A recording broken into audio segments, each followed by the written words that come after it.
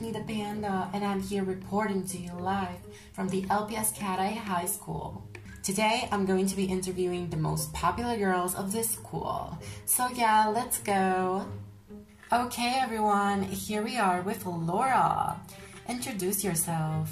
Hi, everyone, my name is Laura. I am the Cady Heron of this school.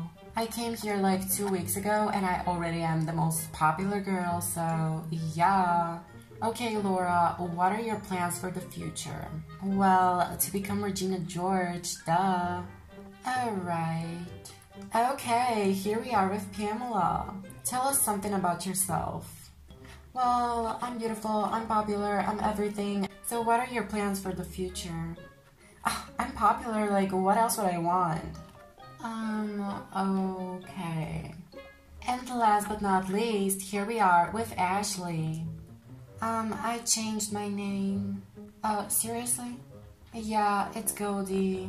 Okay then, here we are with Goldie. Uh, tell us something about yourself.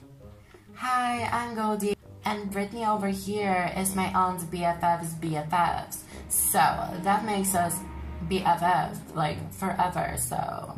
Um, that didn't make sense. Anyways, the best way to describe myself is, well, everyone wants to be me, so, um, okay, uh, tell us what are your plans for the future? Oh, well, I'm already a part-time superstar, like famous, like everything. So when high school is over, I'm going to become a full-time superstar. So yeah, that's that's all. Okay.